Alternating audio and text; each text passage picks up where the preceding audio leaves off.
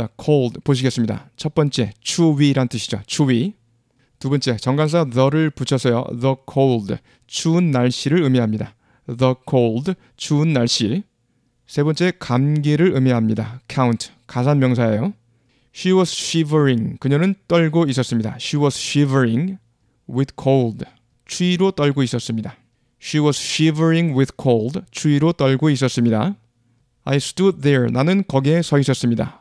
I stood there shivering in the cold. 추운 날씨에 떨면서 그곳에 서 있었습니다. 이때 the cold는 추운 날씨. 물론 추위로 떨면서 그곳에 서 있었다. 그래도 문제 없죠. 하지만 그 속뜻은 추운 날씨라는 거요. The cold, 추운 날씨. 그래서 다음과 같은 말 잘 쓰입니다. Come in, 들어와 이 말이죠. Come in out of the cold. 추운 날씨에서 들어와, 추운 데서 떨지 말고 들어와 이런 뜻입니다. Come in out of the cold. 추운 데서 그러고 있지 말고 들어와. Come in out of the cold. It's not the flu, it's just the cold. It's not the flu, 독감이 아니야.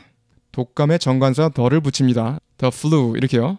It's not the flu, it's just the cold. 앞에 부정관사 a를 붙여서요. A cold, 감기란 뜻이죠. A cold. 감기할 때 a cold. 그래서 감기 걸렸다 할 때 he got a cold 또는 he caught a cold, he caught a cold 이렇게 부정관사 a를 붙인다는 거예요.